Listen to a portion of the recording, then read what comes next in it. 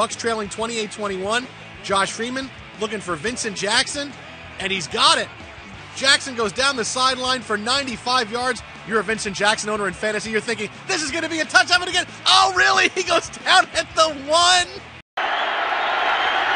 Baronis hammers it and not long enough and wide, and Bethay's going to run it out.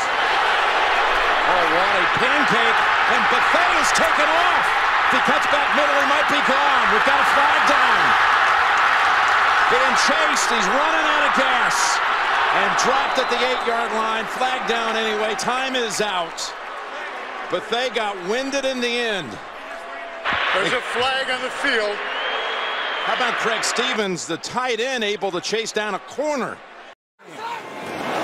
Flag, play, play to the end zone, and it's picked off. It's not going to make a difference. Kwon Alexander with the interception, the return. Kwon Alexander. Look at Julio Jones chasing down. And Julio Jones will bring him down and throw him down.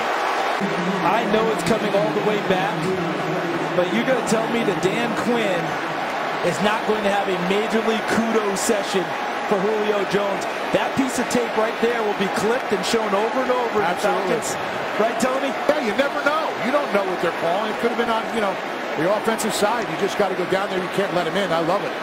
I love seeing Julio going down there. And here he comes. Lead Look by at Julio. example. Remember how I called him Secretariat last week? He looks like secretary right there. Defensive right end. Half the distance to the goal. There goes Adrian Peterson.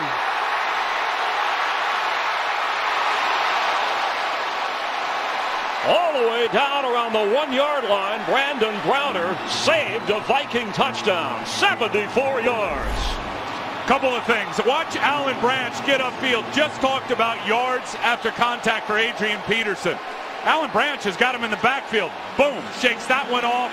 Gets a good block from Brandon Fusco, his right guard. Look at that wicked cut. Back against the grain. Awesome.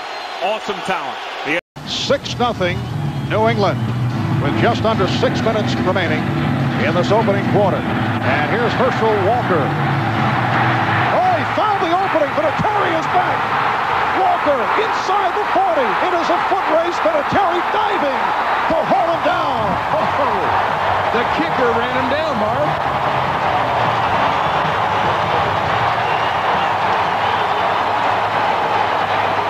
it's a 70-yard kickoff return by Herschel Walker.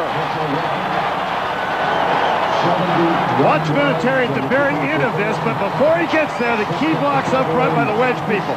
Just muscling room for Herschel Walker to find it, and now actually Vinatieri doesn't even have the angle on him, Randy. Closing speed. I've never used the term closing speed with a kicker. I'm putting him on my fantasy football team tonight. He's definitely on the defensive stats. When I broke. I knew he was coming. good night I said, I know he's back there somewhere, and he called me. If you aren't gonna, you're gonna make mistakes. Make them going fast. From the end zone, second and 10, and holding on to it is Vincent Jackson. One man coming after him. And it's Malcolm Jenkins. And Malcolm Jenkins gets to him. And they'll mark it at about the one yard line. Great hustle by Jenkins. A 95 yard pass play. And it'll be first and goal at the one. Vincent Jackson. Well, he's got so much trust as Josh Freeman and Vincent Jackson. He's going to throw it into some double coverage here. You see Patrick Robinson, in the corner, undercut. Malcolm Jenkins, excuse me, Roman Harper takes a bad ankle, angle, but great hustle by Malcolm Jenkins. You never know in this league when you hustle like that, good things can happen. And Johnny, he, he tried to knock the ball out as he made the tackle, hoping for a possible fumble. Great hustle. Baker boots it away. Washington cuts it up. He's got some space. He's past the 30, the 40, just the punter to beat.